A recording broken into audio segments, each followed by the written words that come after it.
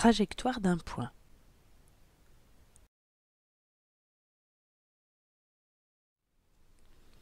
La trajectoire d'un point est l'ensemble des positions successives occupées par ce point au cours du mouvement. Observons cette chronophotographie d'un gymnaste sautant sur un cheval d'arçon.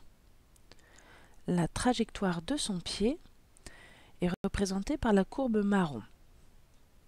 La trajectoire de son bassin est représentée par la courbe rouge. Ces deux trajectoires ne sont pas superposables. La trajectoire d'un point peut être rectiligne lorsque la trajectoire est une droite.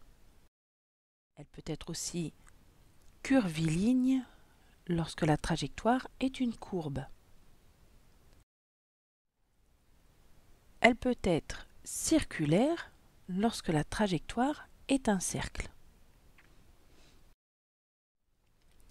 Elle peut être parabolique lorsque la trajectoire est une parabole. Analysons la trajectoire de la valve d'une roue de bicyclette en train d'avancer sur une route horizontale. La trajectoire de la valve de la roue est une cycloïde dans le référentiel terrestre.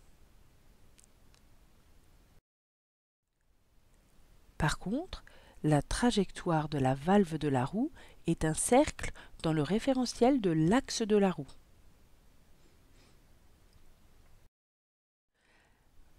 On peut donc en déduire que la trajectoire d'un point dépend du référentiel dans lequel on étudie le mouvement de ce point.